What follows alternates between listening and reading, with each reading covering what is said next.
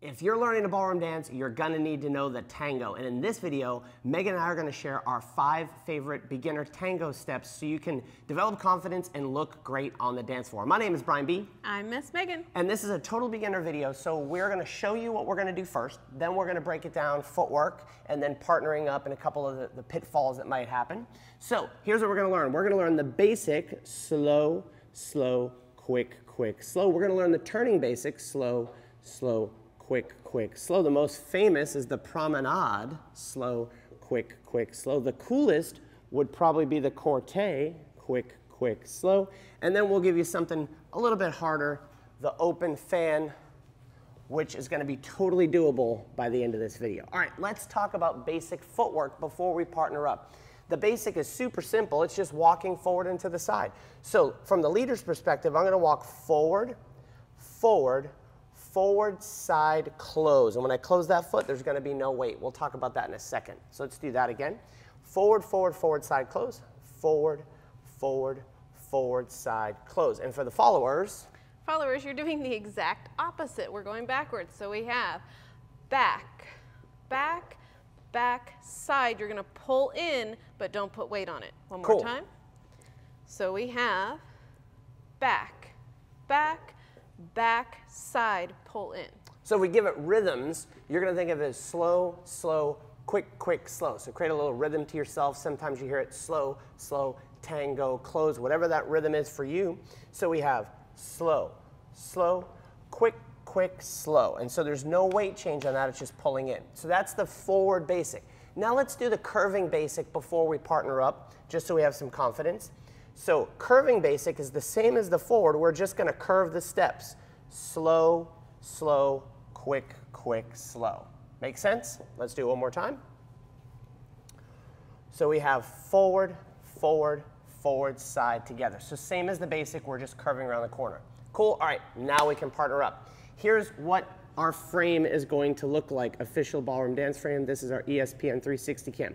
Most important thing to know, I'm gonna go this side, is that Megan is always in her Window. window. So the window, I always say there's a shoe sale going on over there for the ladies, right? So you're gonna be over the leader's right shoulder. I'm gonna be over the follower's shoulder. This hand is gonna go up halfway on her side, halfway behind her, fingers kind of closed there, and she's gonna put her arm, I'm gonna put my arm down on the leaders. I am not heavy.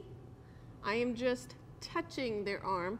This hand is gonna go in their uh, back area, thumb down, and then uh, like a karate chop into the arm. So that's where this is gonna go. This hand is gonna go at eye height. Whose eyes? Her eyes. So if I was shorter, the hand would feel like it's a little bit more above me. If I was taller, I call this towel on the towel bar, so my hand goes out, she closes over the top, we close our hand there, elbows out, that is our frame. Now, you can dance as a beginner, you can dance either with some space or the way the competitive dancers do is right up against one another. We're gonna dance up against one another, but if you create a little space there, no big deal. The alignment's gonna be the same though. Megan's always over her right, my right shoulder. I'm always looking over her right shoulder.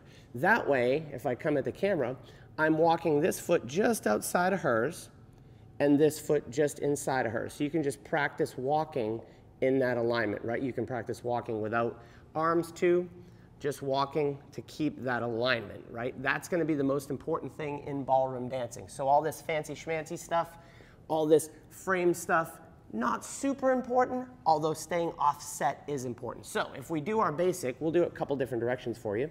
We go slow, slow, quick, quick, slow. If we do our curving basic, it's the same thing.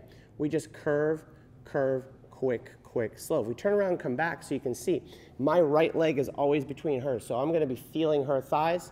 It's okay, it's dancing. Slow, slow, quick, quick, slow, slow, slow, quick, quick, slow. So play with that. That is your basic and your turning basic. Get used to the alignment um, and feeling like you can move with your partner. Now we're gonna get to the promenade. This is pretty fun. What is promenade position? This is promenade position. All we need to do is from our closed position, we've danced the basics, slow, slow, quick, quick, slow. From here, we're just gonna slightly turn. So notice I'm not turning too much with my arms. That's what we do in the beginning. Just a slight turn with the arms to get Megan to turn. Boom. If you notice in our ESPN 360 cam, Megan is still in her window. So in promenade position, it feels like closed position. We're just looking that direction. So from that position, just do me a favor and walk. Just walk along in that position. So if you notice, Megan is going to be slightly behind my foot the entire time. So if we do it the, we'll do it this way. Just walk in that promenade position. I'm slightly ahead. I'm just walking and Megan can stay. It's like the three-legged race you did as a kid, right? So the inside leg, I'm slightly ahead and she's slightly behind. So followers, you want to stay slightly behind. Cool. So with that being said, let's do our footwork for the promenade. We're going to go towards the camera. Dun, dun, dun. We're going to go slow, slow. Now there's an and. I'm going to shift. And then the same finish we did before. Forward side together, forward side pull closed. Cool? If we did that again, we'll do it coming at you. We'll do it going away from you. So our promenade, we go slow, slow. There's a shift for an and, quick, quick, slow. Let's do it the other direction. We'll have Megan talk through what goes on for the followers because this might be the trickiest part so far.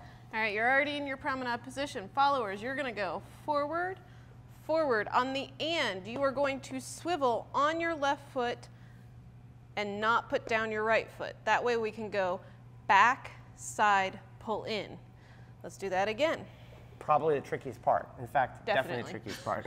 All right, so you have forward, forward, swivel, and then back, side, pull in. So we do that together. We'll show you some things, leaders, that you can do to help and some things that followers can think about. So we get our promenade position. I'm leading ahead for slow, slow. Now here I'm gonna pivot her around that foot and then we can walk together for quick, quick, slow. So we do it in a different angle. We have slow, slow, and quick, quick, slow. Now if you're a beginner, you wonder why I'm saying the word and. And is gonna happen during the slow, right? So if I'm thinking about this this way, slow, slow, quick, quick, slow. But I'm gonna say it with an and. Slow, slow, and quick, quick, slow. So that way it's a little sharper, a little bit more tango, a little bit more functional. So if we did this again, our promenade, we have slow, slow, and quick, quick, slow. So one thing I can think about if I come at you on the camera and slow, slow. Leaders, if I turn her right on her spot, right? I'm holding her on that spot. If I move my hands too far, she's gonna take a step. That's gonna be a common problem mm-hmm. for beginners. Sometimes it's the followers not swiveling, sometimes it's the leaders throwing her. So if I did a basic first, maybe even a curving basic, slow, slow, quick, quick, slow. We set up our promenade with a little and at the end.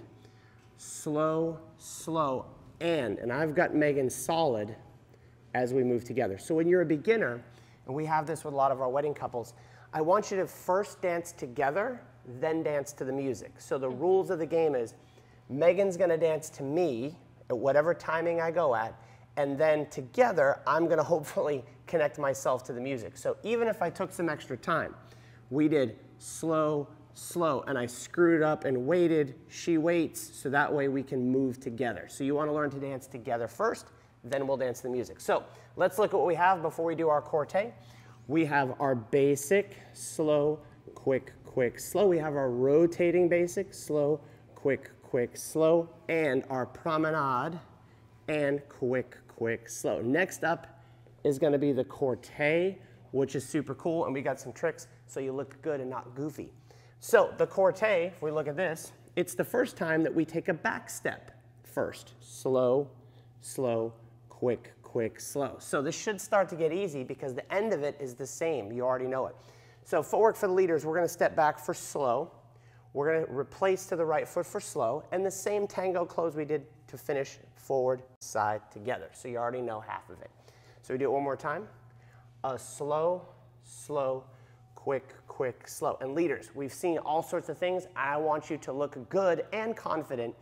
I don't want to lunge back with this foot awkwardly. I just want to step back a little bit, leave this foot on the floor, and create this shape, almost like a little C shape as I step back, right? Because I want this, we're going to talk about this with the lead. I want this feeling to my step back. This is also going to be part of how she knows it happens. So that's what I want to think about for slow. I step back up on that foot for slow, quick, quick slow. Now, Miss Megan, what do the followers have to do so they don't look like they're lunging? Well, first of all, you have to follow. You're going to go forward. All right. So, What if we can't lead? We'll get there. all right, followers, you are going to take a step forward with a bent knee. So you're going to land forward. Now, we are going to keep our hips forward into this and not look awkward. So let's do that again. So we have forward, and we're going to be a little shaped here.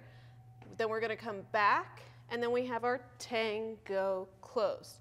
If we do that one more time, this is forward, replace, tango close. Cool. So to lead this, I'm going to do it from this side so you can kind of see leaders. If I'm going along on my basic, everything is moving that direction, right? So everything's moving that way for my basic. Now from here, I'm going to collect her a little bit. What does collect mean? Anything that's different in your pressure to the follower signifies something's going on. If you've ever been walking across the street with holding someone's hand, you just squeeze their hand, like you didn't say there's a car coming, they don't know, they just know, wait a minute, pay attention. So anything I do here, I'm cruising along in my basic, I know I'm gonna do the corte. She feels this pressure. You don't see the pressure, she just feels the pressure. I've collected her just a little bit. Now, as I step back, it signals her to step forward. We replace, and then we move together quick, quick, slow. So we do it the other way. We'll do a basic first because you're gonna have to develop the skill of going forward and then back. So we have the basic, basic, quick, quick, slow. I collect her, slow, slow, quick, quick, slow. So that's a good way to practice is a basic or even a curving basic into the corte, quick, quick, slow. Now Megan said something earlier about the followers. What did you say? They have to, Look at their foot. they have to follow. Oh, follow. Follow. So what does follow mean? Follow means wait until I go, right? You want to know your steps and then you want to react to what the leader's telling you, right? I'm the leader, at least on the dance We floor. We hope so. We hope so. So, as we're going along, slow, slow, quick, quick, slow. I collect her, she follows me, slow, slow, quick, quick, slow. And she doesn't go anywhere else until I start to create some sort of lead. Cool beans? All right, so those four moves should allow you to get around the dance floor, but I want you to look really cool, right? Develop confidence, look really cool. Hopefully you're confident now. Let's look really cool. So this is the open fan. This is totally doable because you've got the skills necessary because we're already in the promenade for slow, slow, quick, quick, slow, slow, slow, quick, quick, slow. So yes, a little bit more complicated, but you already know half of it. Why do you already know half of it? Because we know our promenade, right? We know how to do slow, slow. But from here, instead of turning her and finishing our basic, right, we're gonna send her out for what we call an open fan. This is, looks really cool. Slow, slow, quick, quick, slow. And that part is the easiest because I just have to send her out, shove her. That's a terrible word, but you get the idea. So what are we doing? Slow, slow. I have to drop this hand down. Quick, quick, slow. So let's talk leaders footwork from this side. So leaders, we're in our promenade position. Slow, slow. On my quick, quick, I'm gonna rock that direction. A little pressure in this foot. Quick, quick, and then I wanna look cool. I'm gonna go and slow. So if I do that again, we have slow, slow, quick, quick, and slow. That's gonna look cool. Followers part, let me get out of the way so Megan can narrate. Followers, I'm going to go from this side so you can see this somewhat from behind. We have slow, slow. We're going to turn around for quick, side for quick, and slow. So let's do that again. We have slow, slow, turning, quick, side, quick, and slow. So if that's confusing, it's not gonna be because there's only one way you can go. So leaders, we call this baby steps. So we're not gonna do any footwork, we're just gonna practice the hands. Leaders, I'm gonna take this hand down and let it change to this grip. So from my closed grip, I'm gonna put this in what's called like a swing grip. Then I'm going to send her out. So just practice that, right? Just how I'm gonna send her out.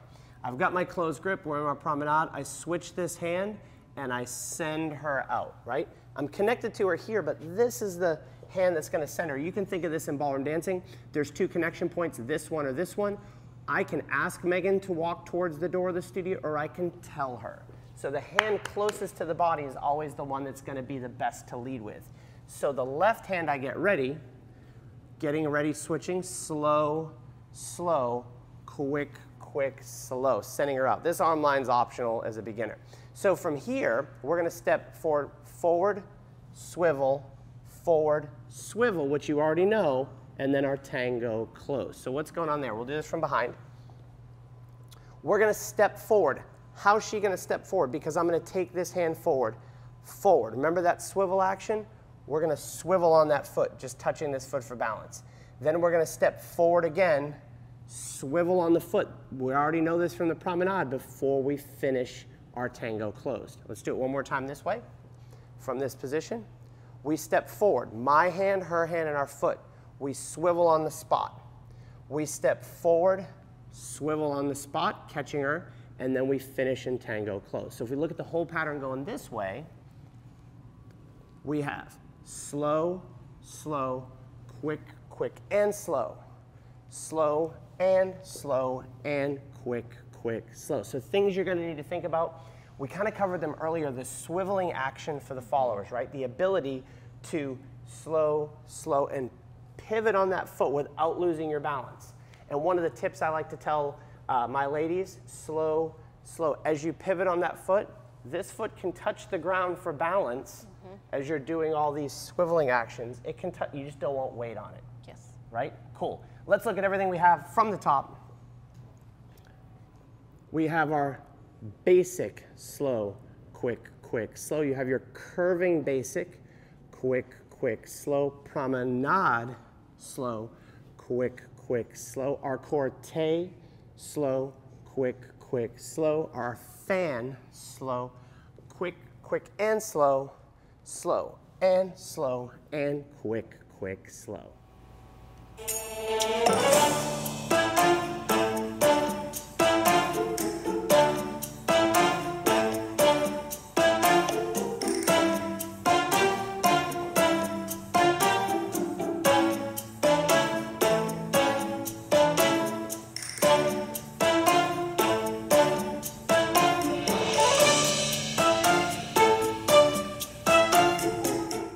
you feel a little bit more confident because I know you're going to look great doing those steps.